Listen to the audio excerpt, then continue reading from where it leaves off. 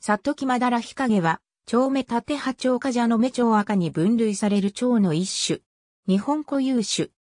北海道、本州、四国、九州に分布し、低地から低山地にかけてで普通に見られるが、森林周辺でのみ生息し、鉱山帯や都市化が進んだ地域では見られないが、標高1500メートルを超える山地に生息している場合もあり、山木マダラヒカゲの分布域と重なることもある。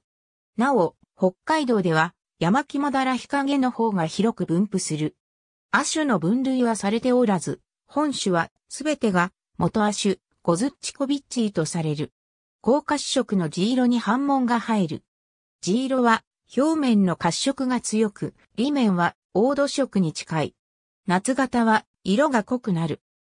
山木マダラ日陰と告示し、全子表面黄斑に入る黒点の数や、公式部よりに入る文様の際などで判別されるが、産地では生息地が重なる上に個体差も大きいため、判別は難しい。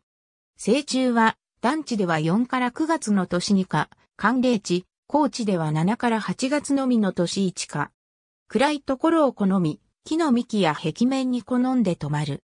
樹液や負荷を好み、吸蜜のために花を訪れることはない。オスは湿地で吸水する場合もある。静止時には常に羽を閉じる。蛇の道蝶赤の中では飛翔は比較的素早く不規則に飛ぶ。幼虫の食草は竹笹類。さなぎで越冬する。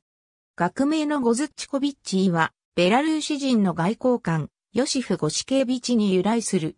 ありがとうございます。